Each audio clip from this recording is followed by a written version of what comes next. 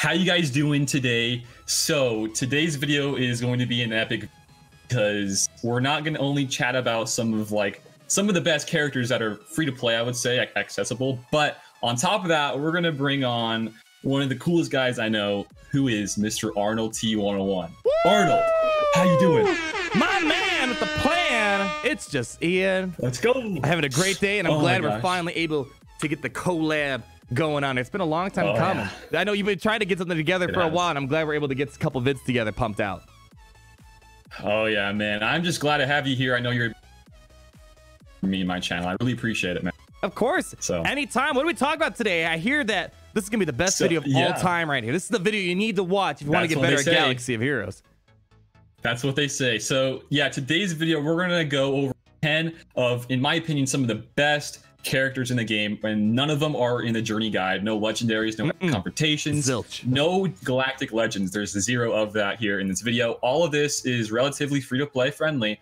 For the most part, you know, they're gonna have some hard nodes in here and there, but these are all free to play accessible somehow. So the first one we're gonna get to this list is oh my gosh, Mrs. Shaak Ti herself. Big guys. Shaak, the one she and only. so so good here because she, I mean, what else is there to say? Because she has the Jedi you know the factions we can just go over the factions jedi yep. faction the, the, galactic republic faction on top of that she's a great leadership for the clones you can use her in the clones in the jedi faction mm-hmm. everywhere she's going to be so so great um, you know, everything about her. I really, there's nothing negative about her kit because on top of that, yeah, you can counter some of these great teams like a Darth Revan and such like that, but you can use her in the Ki-Adi-Mundi mission to get those shards for your guild.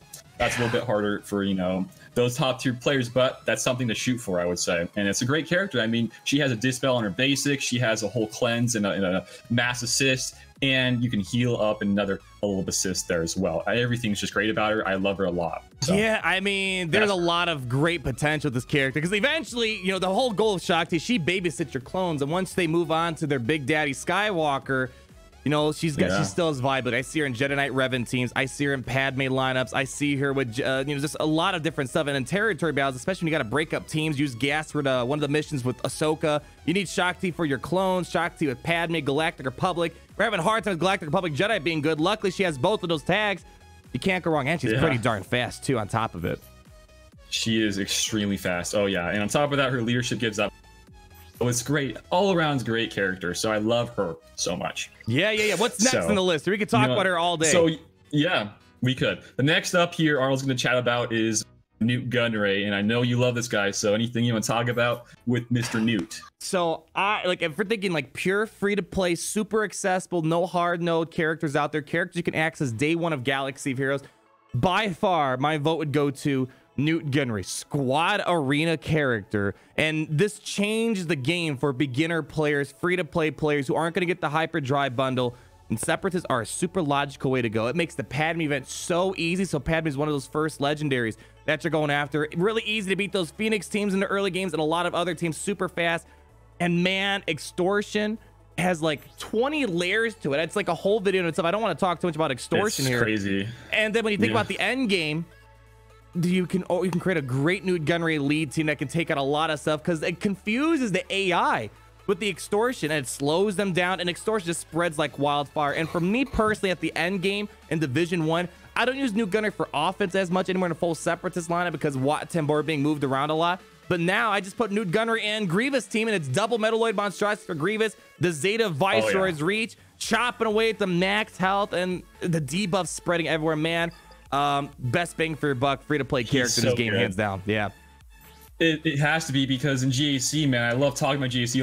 My favorite he's, thing, my man. He's just so good with his unique. Mm-hmm. The GAC with his unique is so so good. I mean, in my opinion, one of the best ideas in the game. It has to be for GAC. Easily. That's just the, the, the thing that opens up there is just awesome. So that's Nute Gunray. He's just awesome all around. Not much else to say about him. He's great. So next guy I mean, that's really it for him. There's not much else to say. But um, the next guy here is Mr. Darth Nihilus.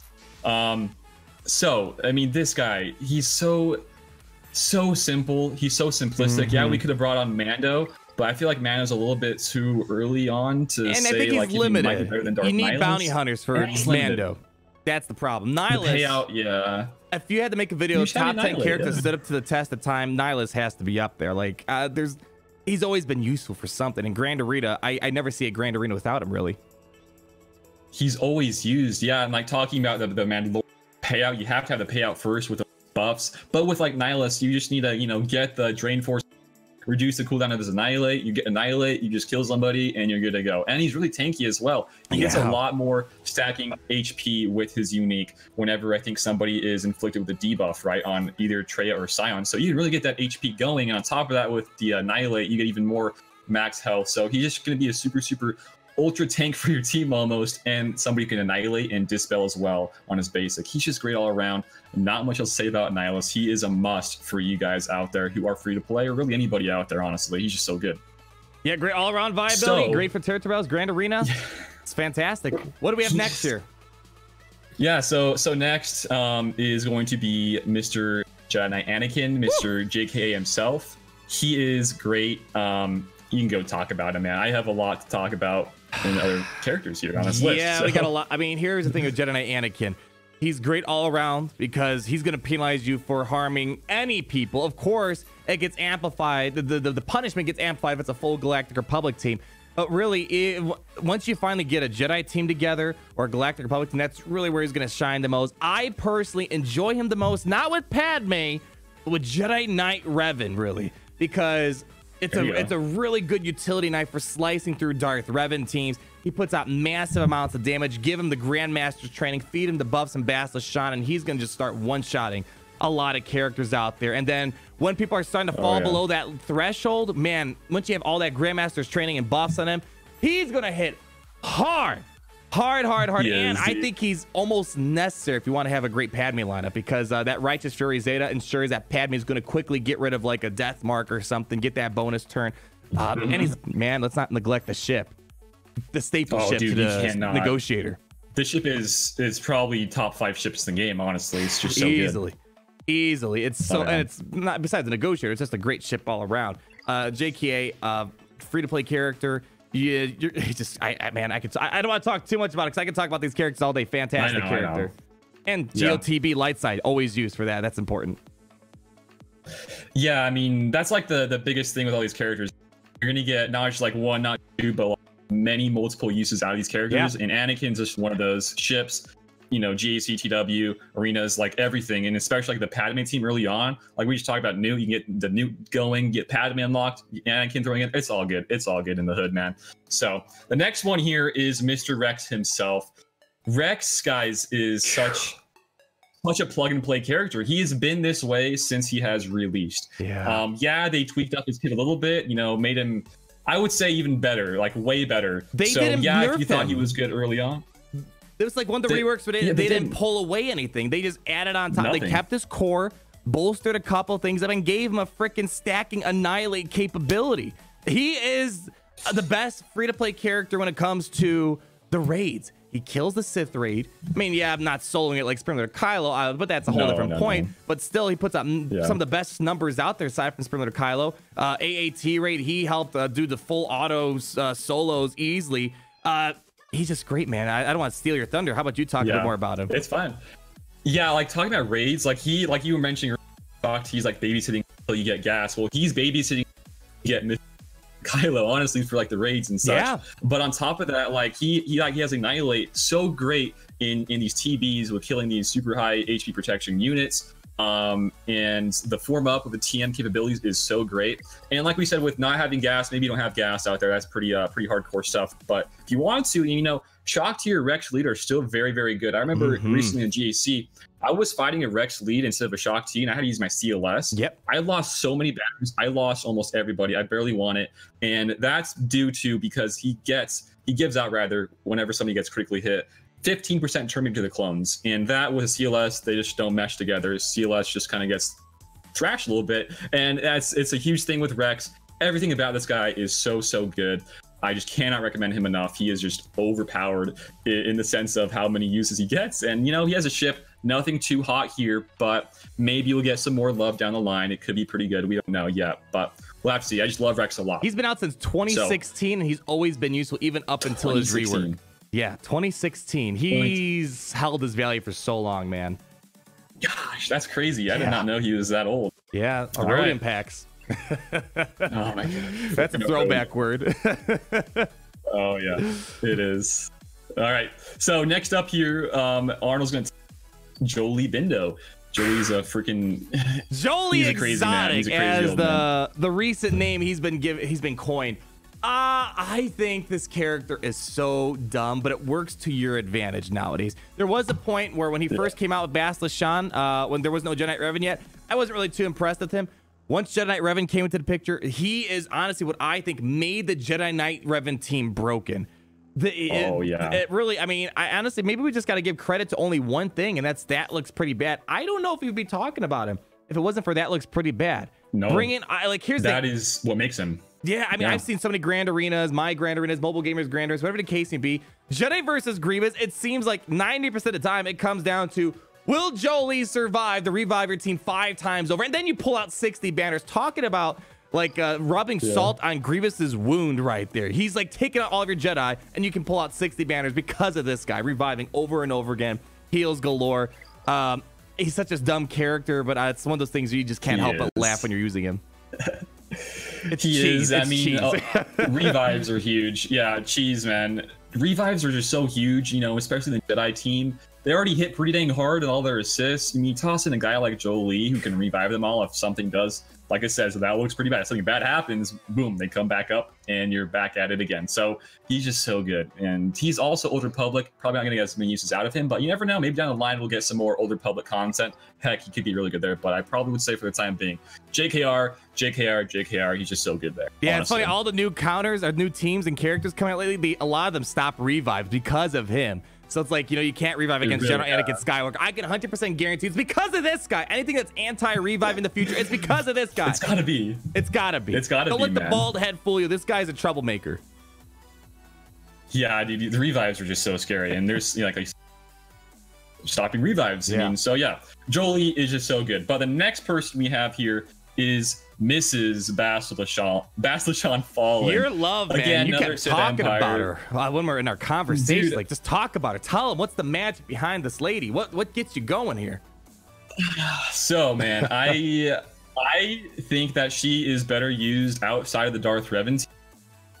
And it's because of Emperor Palpatine. Emperor Palpatine and Darth Revan are both in a journey guide. We know that a lot of these guys are pairs with these characters we're talking about, but EP, especially with BSF, can now counter so many more teams, in my opinion, and you get just so much more control, and you get pretty good banners actually as well. Usually with Darth Revan team, you're going to take some hits, you're not going to get as many good banners, but with EP, you're going to be out there in front of the team. If you have a fast Bastila Shan Fallen, you're going to get some fear. Fear, guys, is one of the best, if not, it is the best I think the debuff best. in this game Mm-hmm. it has to be the best. I mean, you're pretty much just stopping them, like pretty much like a stun. And if you hit off the fear, you know they lose their what is it? Their cooldowns get reduced Their by one, and also they, get, all yeah. these. all these debuffs. It's like man. it's like you know, it's like you kill the big mom, and all of a sudden all the little babies come out. It's like there's no way. that- It's like it's it's just a mess of a debuff. And once you get that going, It man, is. all aboard the Papa Palpatine Express. That we ain't stopping when she's here. Oh yeah, oh yeah. You're not stopping. You're never stopping because on top of that, her cooldown is pretty low. Yeah. You can just kind of keep cycling back and back and back to it. But another big team, another big thing here, why I think she's just really good on this list and why she is on this list is because she can actually be used to counter some I'm glad Galactic Legend raids and Kylos because it is a huge, huge deal here um, with her. She's just so, so good in that regards. You know, it's it's a must. I think a free to play character on this list that can counter some GLs is a huge, huge win for you, honestly. yeah, Um, that ability block is especially you know like not everyone has ultimate abilities yet for these Galactic Legends, and uh that uh, just in general, even with, with the ultimates, if you can ability block stop Rey from a sudden whirlwind or stop Kylo from stunning or doing an AOE, Oh, yeah. it's so weird how ability blocks have become such a top tier debuff now with the Galactic Legends counters. Yeah, um, yeah. I mean, you can stop specials with the GLs there. Um, you know, down the line. I mean, actually, no, I'm not sure what I'm talking about here. You can already just, but ult stop. That's what I'm trying to get at. But that stopping their specials, like we were just kind of in, in Arnold's last video, you can stop potential, you know, Kylo's stuns or his Yeah. AOE stuff like that. It's out there. It's a great character, Bastila Shan Fallen. So next up here on the list is Mr. Old Ben, Old Ben Kenobi. Yeah. Anything you like about this man here? He also has some ability blocks on mind trick. It's funny, you know. Uh, I was I've always been a fan of Old Ben ever since his creation. Even when his leadership was bugged, there was a point. This is very old. His leadership, uh, Old Jedi Knight, was bugged, and I remember bringing this up many times in Tiny Grimes' comments. It's like when when Duke was the meta, it's like, well, why isn't Old Ben meta? He's got the same thing basically. And they eventually Tiny Grimes, what a throwback! I, that's a throwback right there. That's, oh that's baby, some, yeah, oh that, baby. That was the that was the king of Galaxy Heroes back then. Uh, and I, oh I've always been, I've never been a fan of the dodge meta. I've never been a fan of that. But he, this, this mind trick is what just shuts down enemy teams. And I, uh, with that, with beginner players, this is actually kind of a scary person to go up against because, boom, you lost all your turn meter, your ability block, your got offense down, and it's just Yeah. he, he's feeding turn meter to rebels and Jedi.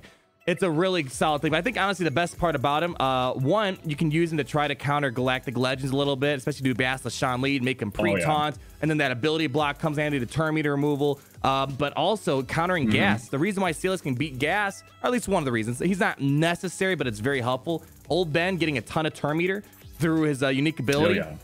Uh, being able to um, get- Huge. Get, the ability block on the other team, it helps uh, CLS keep up with gas team. So, and Devoted Protector having that double taunt really helps out too. Yeah, you're, you're saying all this, but you're forgetting if he does die, he has a little sacrifice. Yeah, He's get out the sacrifice too. If you these strike me down, pretty huge. Yeah, that's probably a big thing of why he's pretty scary for these early on. it's a because you don't rebel illuminated destiny, basically. pop that? Yeah, it is. He is kind of insane. You know, yeah, he's been out for a long time, and I still think he's you know one of the best tanks for these you know teams like the Jedi and the Rebels. I mean, he's just so good. I'm very interested to see what they do with more Rebels. Hopefully, more Rebel content coming, Yeah. here, coming here soon. I want to see how he kind of fits in there as well. I could see So, him definitely being important for. I, I I don't see him ever going outdated in terms of Grand Arena, uh, even some arena teams. He's gonna stick around for a while. He's got Uh-huh. a good kit. He does. He does. Um, so the last couple here on this list are, I would say, almost like the identical kind of kit in a way because of like what they bring to their teams, but also their ships are really, really good. Like kind of disgustingly good. Um, so the first one I'm gonna chat about here is Mr. Kylo Ren Unmasked. Mm-hmm. So, KRU, that's what people like to call him. KRU has an amazing kit. Yeah, we have this new Supreme Leader Kylo. He's he's just great. You know, Yeah. we already know how great he is. But this guy is great for you out there who are wanting to work on, you know, first order. He is a staple. You pretty much on his halt ability, you have a two-turn stun. Yeah, you can cleanse it off, but if you don't have any cleanses, I mean, there you're stuck for two turns. You can't do anything, Nope. right? Nope. Which is pretty crazy. You you're just stuck there um, for a while. But also, I mean, honestly, he's a tank, right? He's not gonna do some crazy damage. But the other part to, to his kit I like a lot is his leadership ability.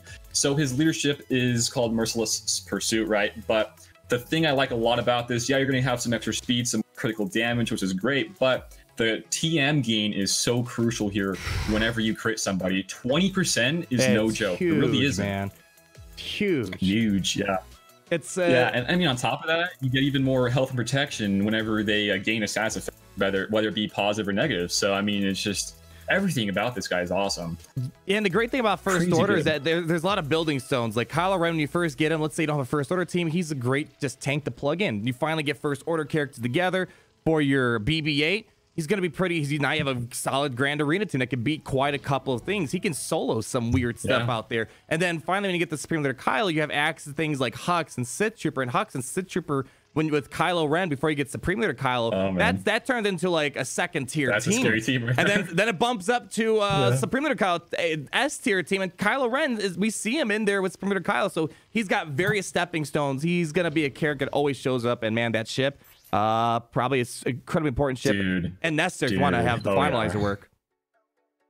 I mean, yeah, you've already probably seen videos about Elijah Tyson Silencer. I mean, this team can really just destroy some Akbars and the Rebels, but also if you have some better relics, like if you were to say go for these whole requirements for the Kylo, the Yeah. Supreme Leader Kylo, you're gonna have some more relics on these guys. You can actually, you know, reliably, in my opinion, beat from what I've seen at least, beat some negotiators. Yeah, I've done it quite a few times myself.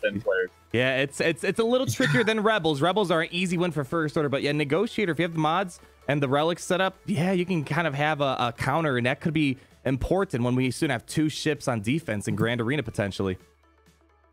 Yeah, that's a huge thing. Yeah, the two ships. At, yep, that's a huge thing. And finalizer will be a uh, playing a huge Yep. part in that whole aspect. For Hundred sure. So, I think that's probably it for Kylo. Um, you want to talk about the guy here list? he is crazy, Mr. Bossk. He is absolutely insane. You know, I don't know what else to say about him. I have respect for this character, but the one thing I don't respect him for is his ship. I think his ship it's a great oh, ship. Don't don't, yeah. let, don't let me. I don't. I'm not talking yeah. mad garbage about. It's a. It's too good of a ship. It's kind of like Captain Rex. Who's oh, really Captain is. Rex has always been good, but it's, it's something. Captain Rex has been tolerable.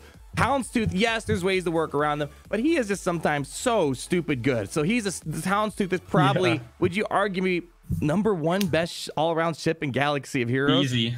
Yeah, outside of the um, outside of the capitals. Oh yeah, yeah, outside the capital, the best. But in regards to the character yeah. himself, it's easy to get this guy to be fast. There's some really powerful combos that you could set yourself up with the Bossk. Like one of the things, like people try to cheese a Jedi training raid, but if Bossk gets that taunt off first, or there's a Jango it can turn into a really messy battle really, really quickly. Yeah. For me personally, though, uh, I'm doing a lot of bounty hunter testing with Mando. And to get that contract Ooh. on the Mando lead going, it's really important to have Bossk go as early as possible. Get the buffs on the field so then also you can start working towards this contract. And then you have Greef Karga do the mass storm. So Bossk is, as I said, he's important for pulling off some big plays, whether just getting the taunt off really early, whether he's leading or whether he's of Jango lead or with Mando, get those buffs going so you can really get these contracts triggered. He's just it's a staple bounty hunter character that I will I can't imagine will ever go out of style if you're running a bounty hunter team. And I've seen some really weird stuff people do with scoundrels with him. There's just so much to do, and his leadership ability. It's another one of those staple things out there. And uh, ah, man, it's just it's a good. It's not a god tier character, so but in Grand Arena, it's a staple character, and he's got a great ship that goes along with, and you can't go wrong with him. No, you can't. He's he's just so good. So many uses out of these guys, especially Bossk and his ship. It's so so good. So I think that's gonna wrap it up for today. Woo! That's ten different characters. So many uses out of these characters, guys. It's kind of kind of crazy, you know, how good these you know non-legendary, non-journey guides can be.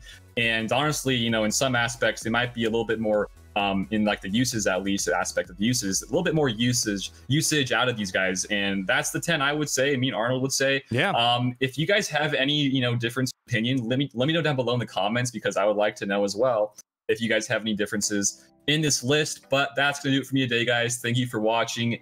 And until next time, thank you, Arnold, actually, for hanging out with me today, Arnold. Thank you. But until next time, I will see you guys all later.